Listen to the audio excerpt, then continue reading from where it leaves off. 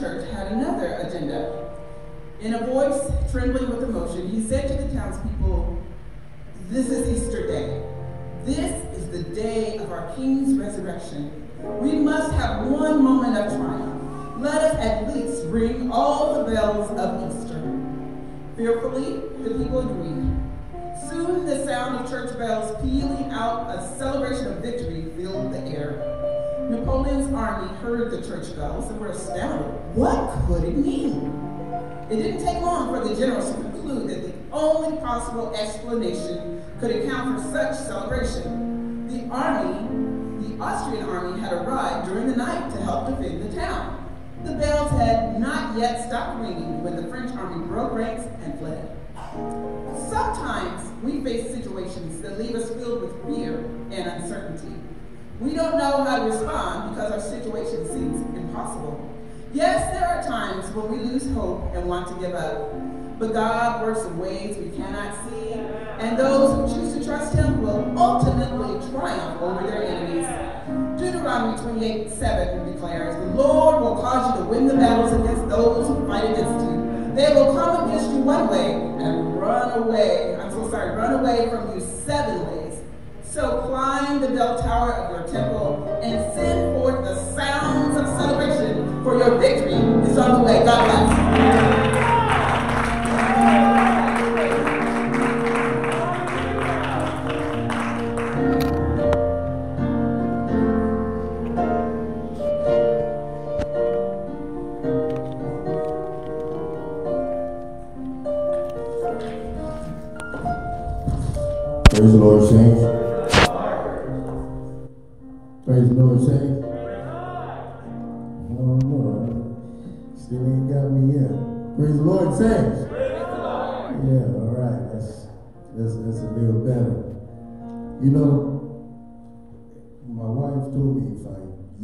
understand she ain't gonna talk to me, but I, I, uh, I've been a DJ for a long, long time, and I'm not going to go into it, but I never had to hold a microphone because I'm dealing with the turntables. So, a music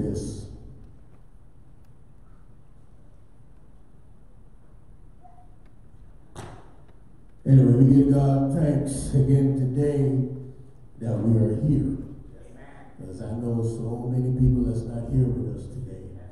So every time I think about it, I always have to give him thanks. But it's, it's funny the way Lord do things when you, sometimes you think that it's going to be a grown-up that's going to come and tell you something that you might need to know or learn. But sometimes you can get a two-year-old or a three-year-old trying to tell you something and you just ignore that that child because you think, oh, well, she's a little girl, she don't know what she's talking about. But it kind of taught me, because Bishop called me yesterday and he said, I would like for you to speak today. And I, I, I told Bishop something else, but what I really wanted to tell him is, Bishop, it take me a long time. You got to call me two weeks in advance. But I didn't do that. I said, okay, Bishop, I, will take care of it. So I'm writing, you know, trying to get the, you know, my message together. And my granddaughter said, Grandpa, what are you doing? I said, I'm writing my message because I have to preach tomorrow. And she said, well, Grandpa, how do you know what to tell the people when you preach? And I said, God, God tells me. And you know what she said to me? she said, well, if God is telling you what to say, why are you erasing and scratching out so much? well, out of the mouth. had to think about it for a minute. Thought about it for a minute, and I said, wow, you know, I'm kind of expecting, well, a grown person would tell me that, you know, but that's what she said, you know. So she said, so you don't have anything to say, Grandpa? I said, no, baby, because you're right. So maybe God wasn't telling me. So hopefully this is what the Lord is telling me preach about today. All right? Uh, uh, stand so we can uh, pray and go into the Word. The scripture that we're going to be, I'm going to be working with today will be Hebrews 12 and 11.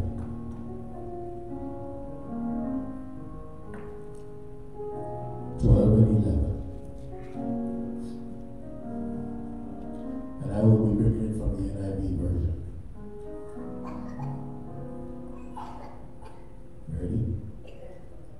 No discipline seems pleasant at the time, but painful. Later on, later and later on, later on, however, it produces a harvest of righteousness and peace for those who have been trained by it. May Lord add a blessing to the reading of the word. Lord God Father, please give me the, the wisdom and the knowledge today to bring this message through from you through me, Lord God. Father, open the minds and the hearts to receive this message today, Lord God. And Father, I release it, Lord, and give it to you, Lord God. In Jesus' name we pray. Amen. Before we uh, get into the message, since I had the one day to prepare myself, I guess the best thing to do is talk about. Because I didn't have to prepare for that. But it's going to be quick. But I want to read this. This is called My Gain Was Worth the Pain. All right. This is about me. We, we will get down to it.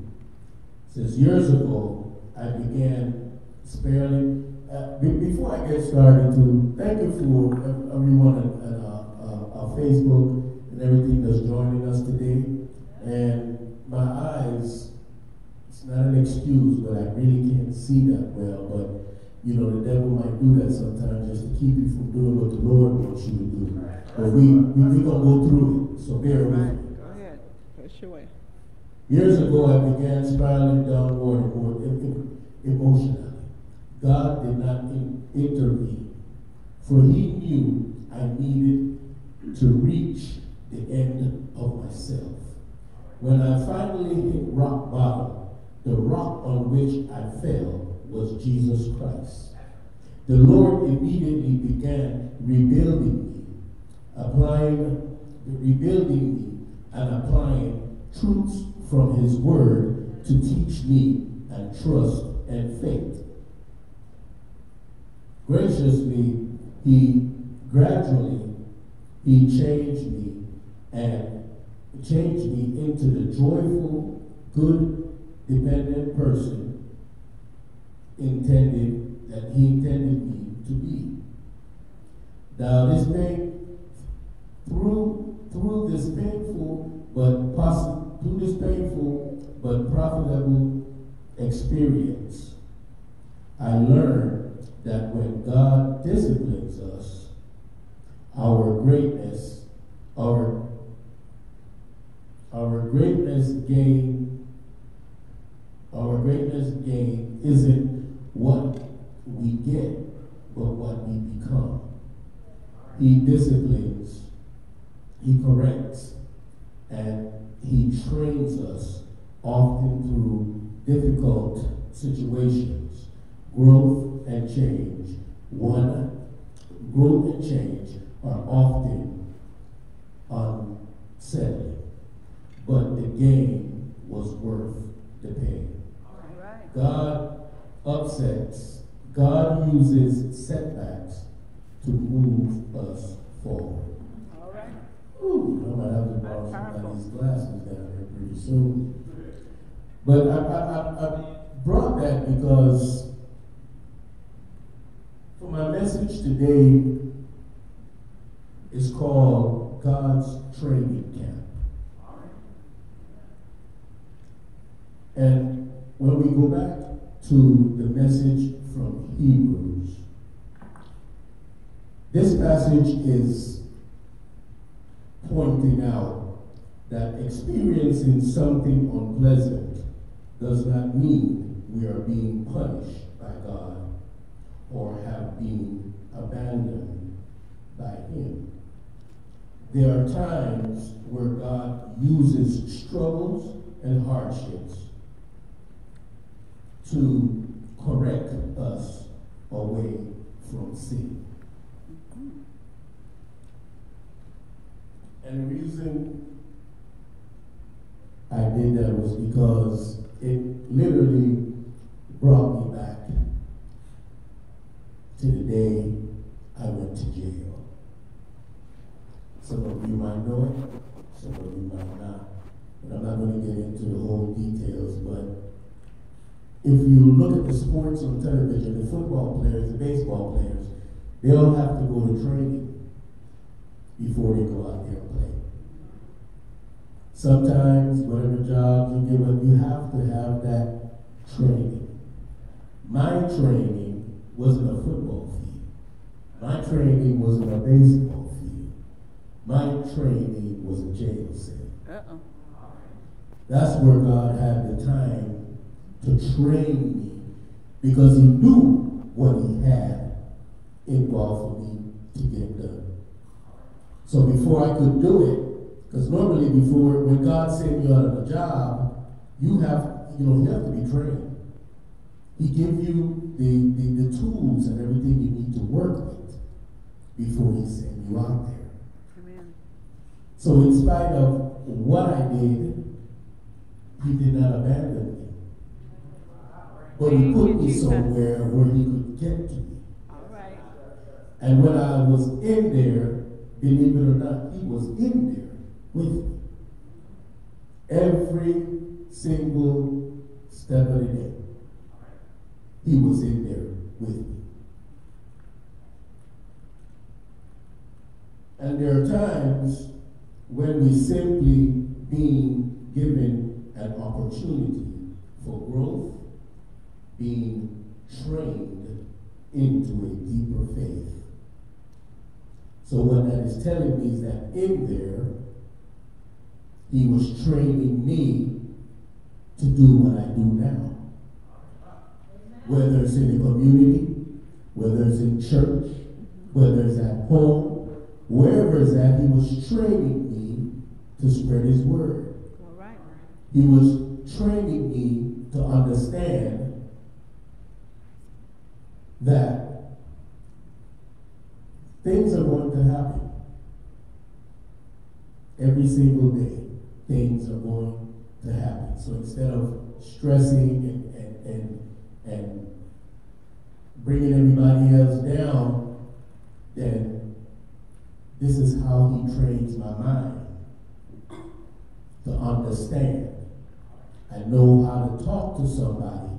You know, because sometimes you can get people that they're just negative. You might go to them and, you know, trying to talk to them about something and they're just negative. See, these are the things that he trained, and guess what? He trained me in jail with the people that's negative and don't care. So if I could pass that training, I can pass any training there is out there in this community because he knows that I'm a community man. He knows that out in the community you're going to find gangsters, you're going to find robbers, you're going to find pedophiles, you're going to find every single thing that you might not see at home in your at, at, at your house, or maybe say you're going to see it in the community. Train you how to, to deal with people that need, deal with people that don't understand who the Lord is. Mm-hmm. See, these are the things I was trained, and, and there was no way I could tell him, no, not today, God, because I'm going down here to the racetrack, or I think I'm going down here to the club. You know what? Because I sure did not have a key to get out of jail. So I just had to stay there and deal with what he was teaching. You see, my game, you know, was worth the pain. Because there was some pain in there. I'm not going to go through it with you, but there was some pain in there for that three months. There was a lot of pain. There was a lot of things I seen. There was a lot of things that I was involved in, but because he was in there with me, he took care of. There was days I went up late at night to go in to use the restroom. And the other side, because there were different names, different gangs, and different stuff inside there. There's no way you can run.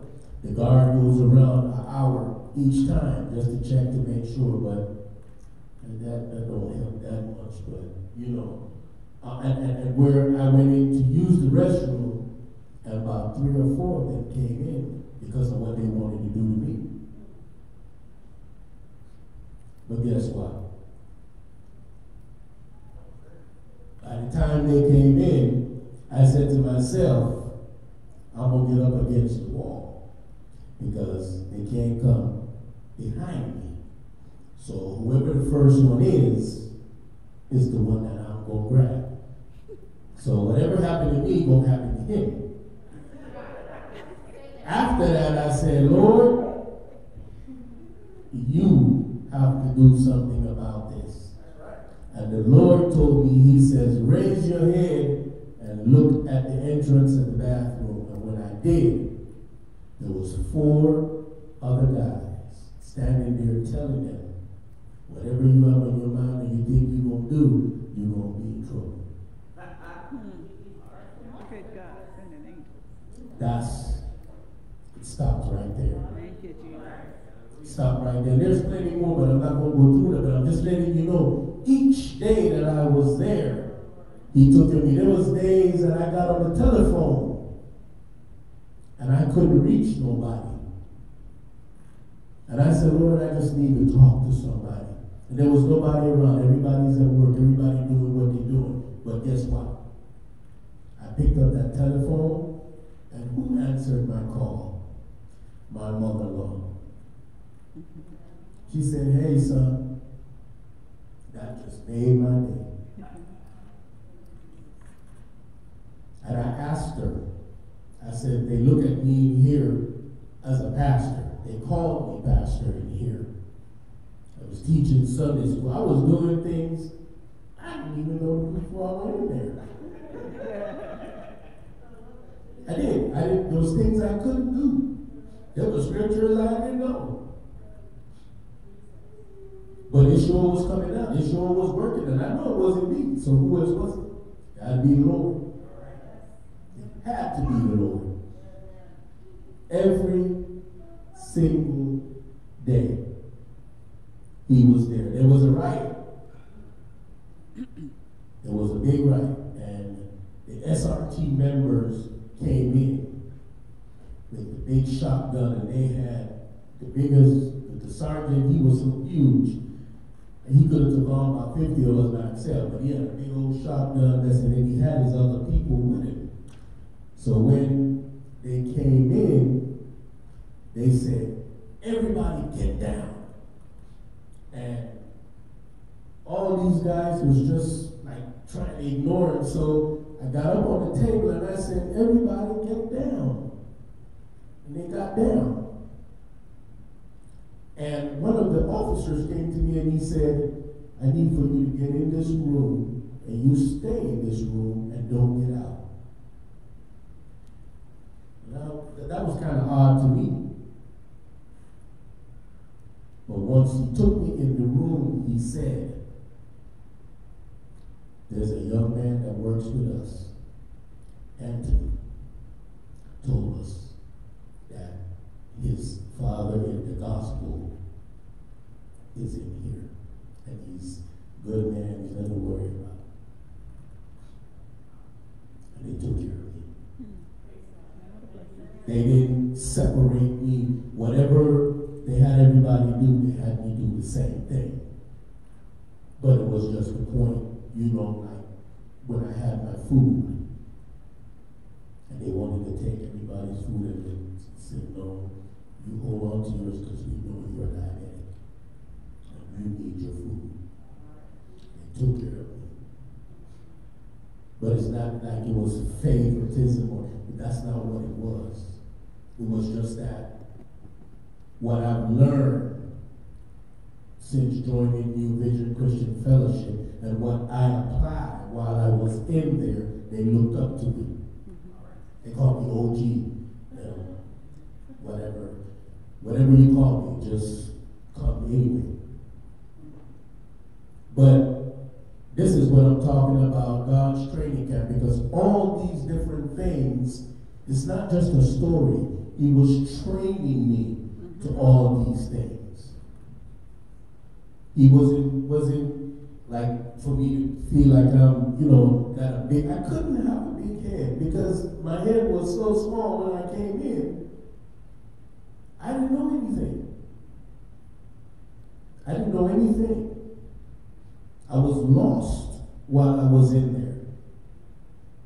And I mean, the Lord set up everything for me. The minute that it, it took about two weeks before we could even get into the room.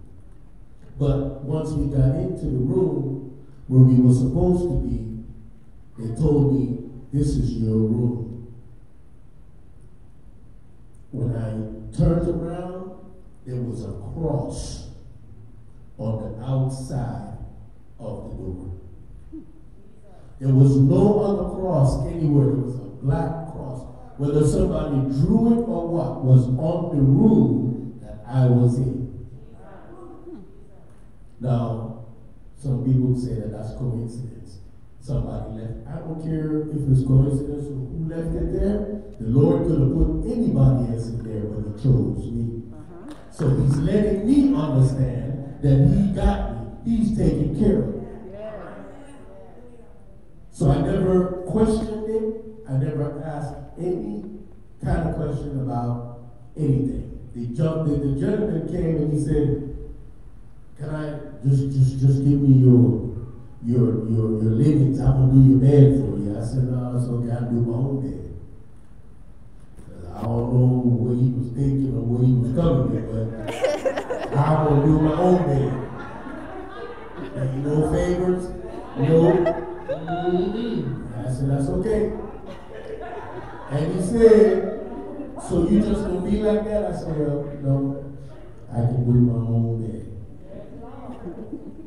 Once I got in there and I came out, I did my bed and everything, and I sat down, and I wasn't scared anymore. I was at ease because I felt I felt the presence of the Lord with me every step that I took.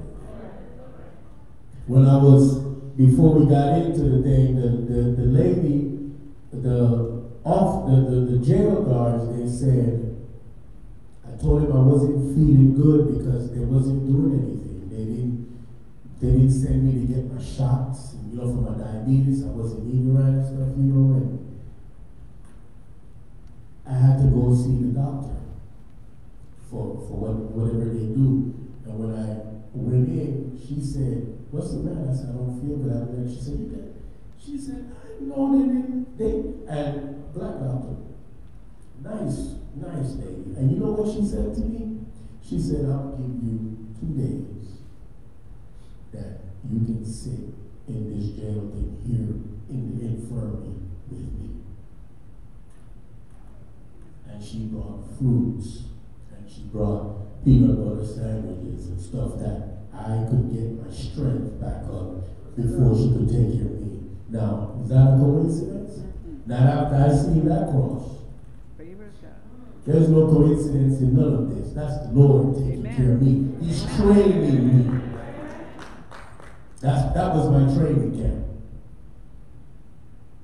So it's just it's just it's just a lot of things that you know when when football players go out and they train, they train because that gives them strength. That give them the way to understand how to make their plays. You know, it's just it's just different things. You know, God trains us in, in every and all ways. Because that's the best way of us to do what we need to do. And last but not least, on, on, on why I said I'll talk about myself is because I've never talked about this before. Very few people in here that know where I was or why I was there. And even though there was pain, I, I was so, when, when, when I got out, before I got out, and like I said, there's, there's a whole lot. Before I got out, it was, it was very hard.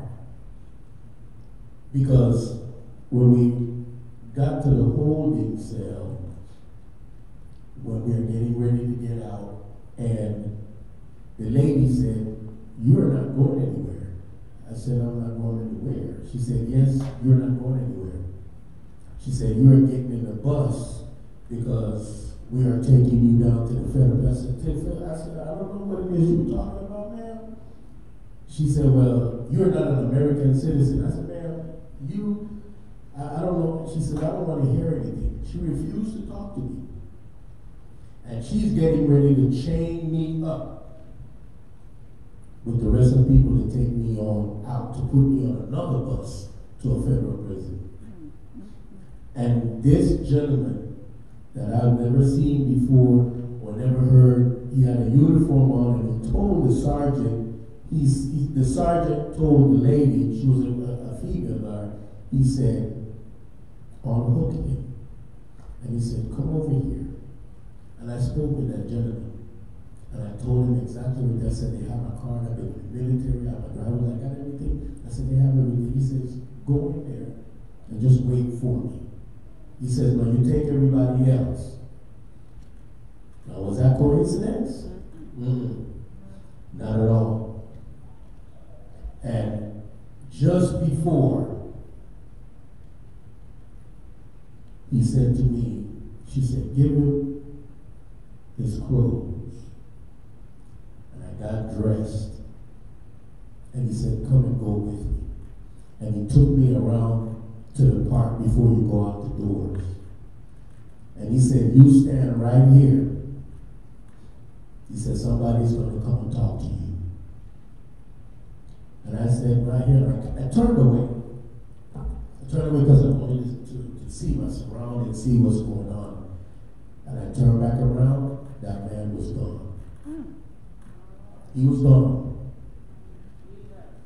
And I did never talk about this stuff because people that don't understand, they won't believe or, or even imagine what I'm saying. Because I didn't believe it myself till when I spoke to my bishop and he explained to me about guardian angels and mm-hmm. what they do. And I did never saw him. When the guy came up, he said, What are you doing here? I said, The gentleman told me to wait right here. Somebody's coming. He said, I don't know anything about that. He said, Well, who is the gentleman? I said, You know, I, I was a short gentleman had uniform on, sergeant, had everything. He brought me up here and told me to wait. He said, Did you get a name? I said, No, I didn't like look at his name or anything, but he got information and everything from me. And he said, There's nobody of what you're talking about, he said, because I'm the only sergeant on call. That's what he said. He said, I'm the only sergeant, the only man, I'm the only person that could have brought me up here. I said, Well, it wasn't you, but somebody brought me here. And I'm not thinking about no angels. I'm thinking, I know y'all ain't gonna stop this bus and, and, and put me back on this bus. And, and, and I'm, I'm, I'm scared. And, and, and he said, When you get in there and you wait. So I went in there and sat down and waited. So I picked up the phone to call my wife. And the phone did not work. So okay, I guess I'll wait. And then usually they let you out at two o'clock in the morning. Here it is, the gentleman, this was probably about nine or ten o'clock at night. He told me, he says, come here.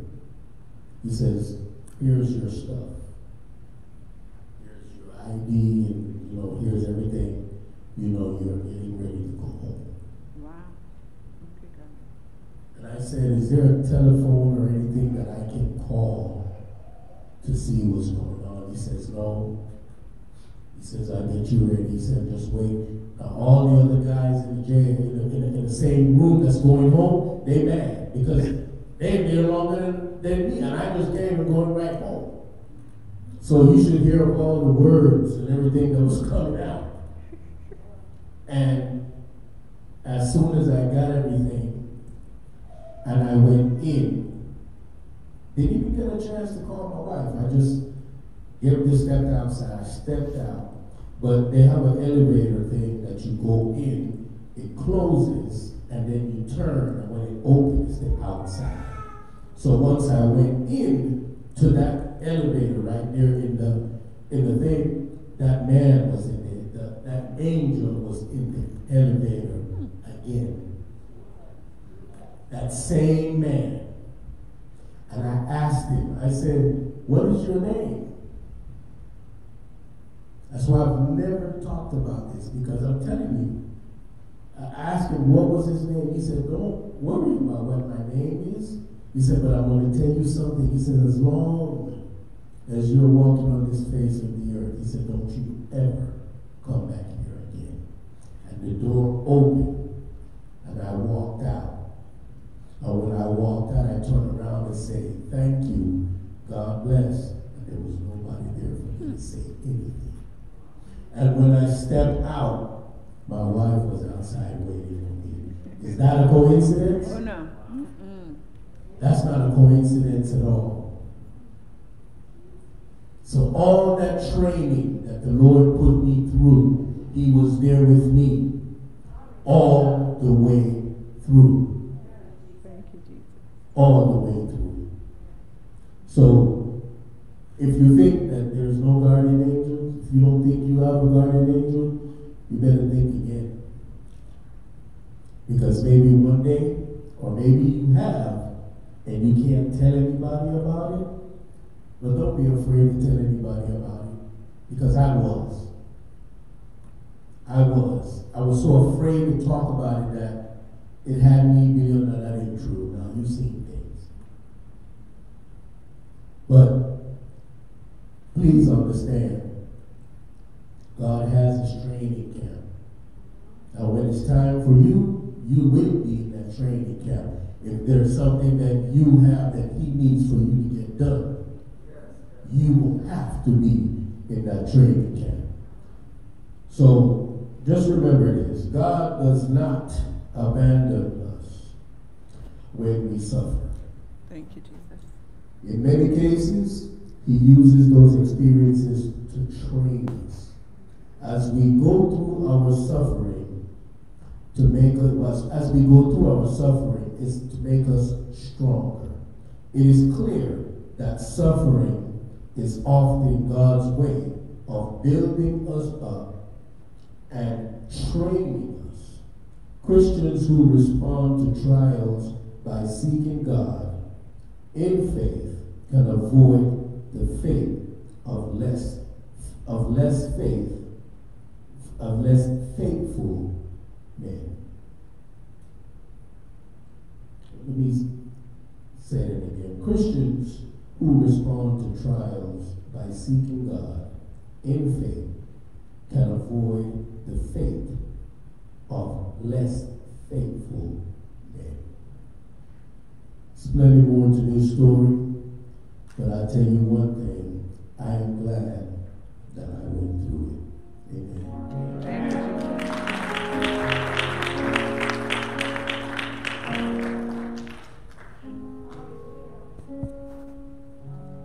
Just have one thing to say that I wanted to say before I leave. Can we give my little nephew back there, Edward, like for y'all to give him a big hand because now he's one of the ministers for the sheriff department.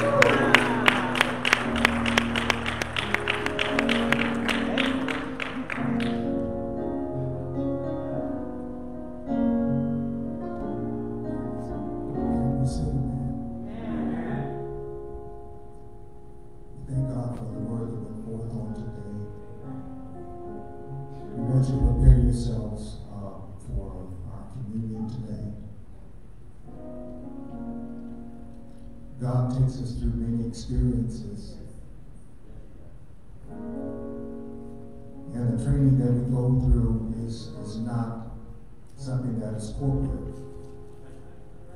but it's individualized. God knows how much you can bear. And God knows what stuff is in you that needs to come out. Amen. So God takes us through our challenges. Some of the stuff we put ourselves through. But God already knew what you were going to do. So he said, I'm going to make it work out for your good. Them that love him and are the called according to his purpose.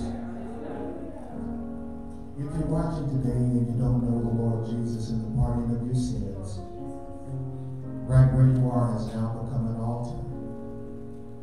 And you can ask the Lord to come into your heart.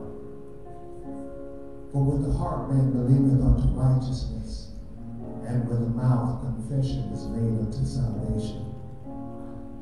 Him, Lord, I'm, I'm a wretch undone, I'm a sinner, but I accept you, Lord, as my Savior.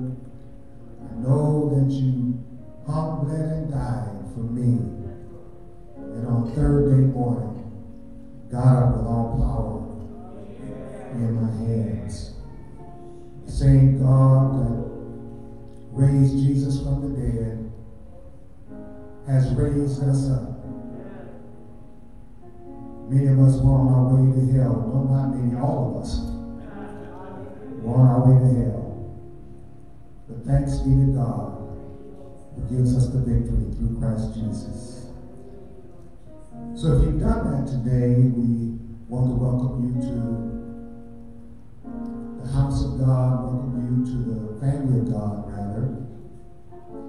And want you to know that God has more for you. If you've done that, please let us know. Because I'm pretty sure that there are places in your area that we can direct you to if you're outside of this area, where someone can tell you more about living for Jesus Christ. If you're here in that building today, let's give the Lord an offering of praise We're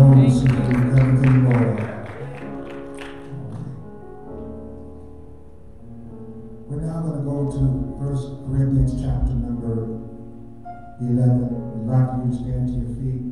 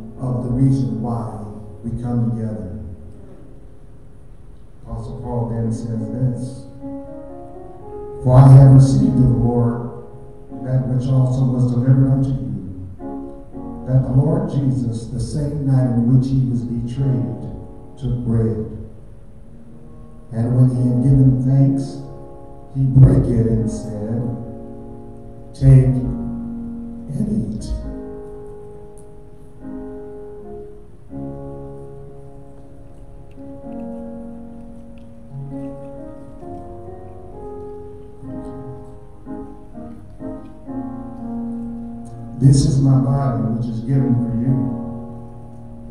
Do this in remembrance of me. This is why we do it. That it will be in our minds, because sometimes things are happening so much in our lives that maybe we forget why we are coming together. When we come together on Sundays, it's, it's not just, amen, to hear the, the, the uh, praise team or, or to hear the pastor or whoever is speaking. But we are coming together because we are the body of Jesus Christ. And he wants us to love one another. So often what happens in our lives is that we have been going through so much throughout the week that we fail to enter into the reason for which we come together.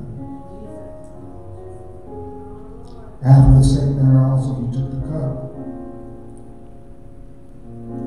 And when he had supped, saying, This cup is the New Testament in my blood. Do this ye as often as you drink it in remembrance of me. We are doing this because of what Jesus did on the cross of Calvary.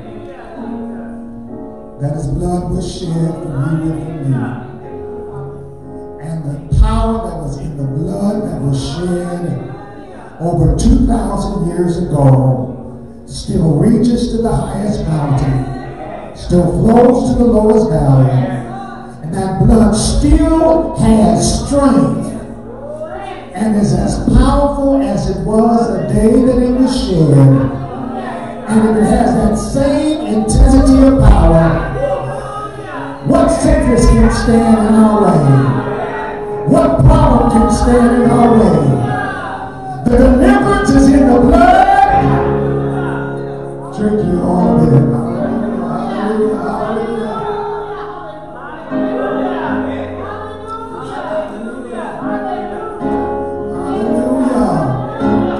할렐루야.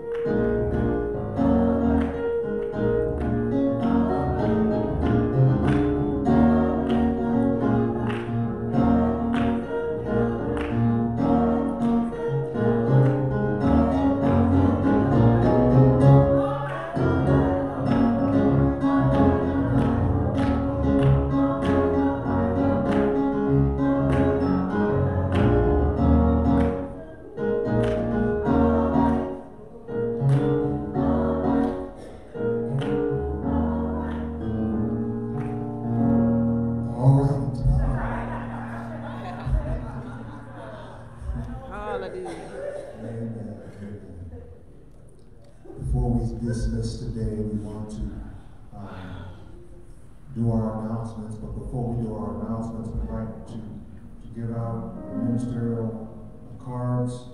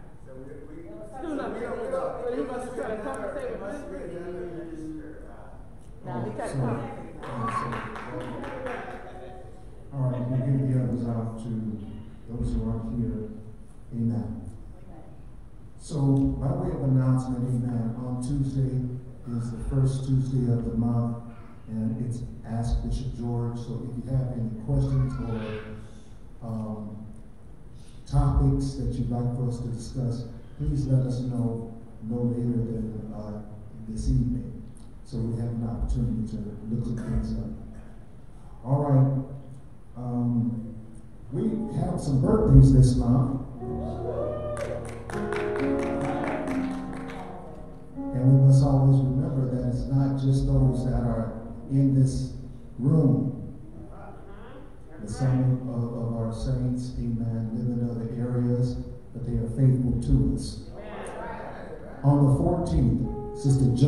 Josie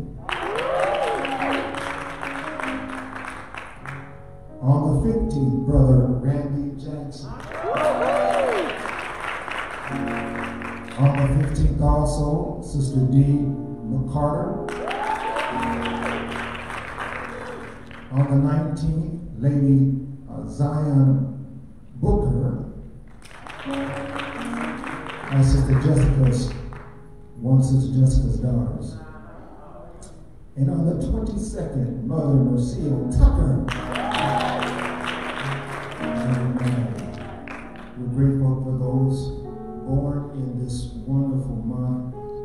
Amen. We're, we're calling it wonderful at the beginning. Amen. This July has, has been, um, I would say, a pretty good month. We had a lot of rain. Amen. We needed it. We're so grateful for the things that happened to happen this past month and what's going to happen this month. Let's continue to pray for Mother Tucker. All those affected by COVID 19 and, and let us pray for the peace in Jerusalem, President Joe Biden, our national, state, and local authorities. Let us keep in our daily prayers our first responders, healthcare workers, law enforcement, law enforcement officers, military forces around the world as they defend liberty for all Americans and world citizens alike. And Let us also pray for all of their families. Amen. That, that um, they, they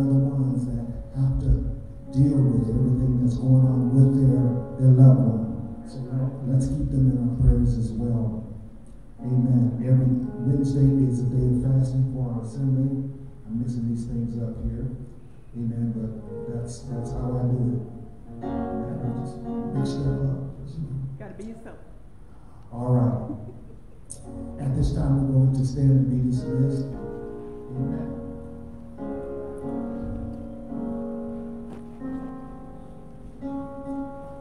Father, we want to thank you for this day, for this is the day that you have made, and we've made the choice to rejoice and be glad in it. Father, I thank you as those here for one more day walking on the top soil. Thank you for life, health, and a reasonable portion of strength. Father, we ask the Lord Jesus that you would be with us as we lead this assembly and those who are watching us, Lord Jesus, as they travel throughout this week. Keep your angels of protection round about us. Keep us from hurt, harm, and danger. Guard our lives, Lord, from the, what the enemy's desires are. Keep us, Lord Jesus, and we will be kept. Now, Father, we pray for those that are sick and afflicted. We pray for those that are challenged, Lord Jesus, in the hearts, in the hearts and minds, in their emotions, Lord Jesus. Those that are struggling in their spirits. Father, we pray, Lord Jesus, that you will be, Lord Jesus, that balm of Gilead. Father, that you will be that instrument, Lord Jesus, of victory, Lord. God, help us to go into recovery. Those who have been challenged, Lord. Give us total recovery, Lord. Oh, Father, we praise you for. All the glory and honor shall be yours. Now dismiss us from this place, but never from your presence. Bring us back at the appointed time. This we pray in Jesus' name. And everyone say amen.